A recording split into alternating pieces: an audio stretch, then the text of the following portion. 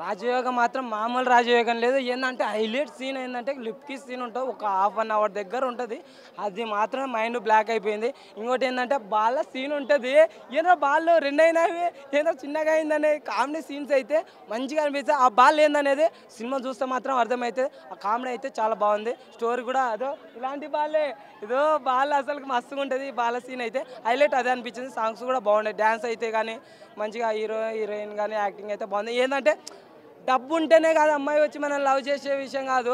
డబ్బు లేకపోయినా కష్ట సుఖాలు పండుకొని అది తక్కువ ఉన్నా కానీ బతకొచ్చు అనే ఒక కాన్సెప్ట్ కూడా చాలా బాగా అనిపించింది నాకైతే బాగుంది ఫాటో ఫైటింగ్ మెయిన్ నాకు హైలైట్ అంటే లిప్ సీను ఆ బాల సీన్ అయితే మీరైతే సీట్ల నుంచి నిలబడదు అది ఎగిరి ఎగిరి వేస్తారు అట్లా ఉంటుంది హైలైట్ ఉంటే.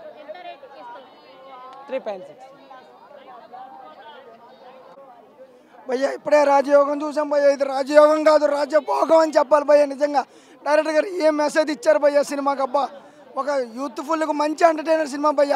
అందరూ అనుకోవచ్చు సక్స్ సినిమా సక్స్ సినిమా కానీ అబ్బా హీరోయిన్ నడుము ఏముంది భయ్య? అది నడుము కాదు అది ఒక ఉయ్యాల పోగొచ్చు. అంత బాగా తీశారు భయ్య.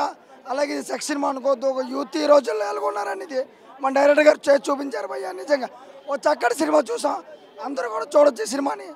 థియేటర్కి రండి దయచేసి పైరసీ మాత్రం వాడొద్దు.